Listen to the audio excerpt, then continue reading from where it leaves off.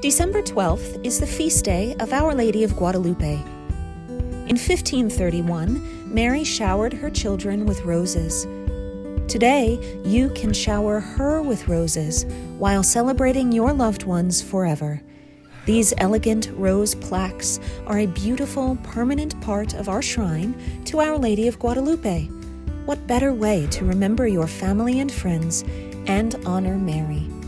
You can also light a vigil candle at our shrine to thank our Blessed Mother and to honor your loved ones. Our Lady told St. Juan Diego, as she tells you, Do not be troubled or weighed down with grief. Do not fear any illness or vexation, anxiety or pain. Am I not here, who am your mother? Are you not in the folds of my mantle? Is there anything else you need?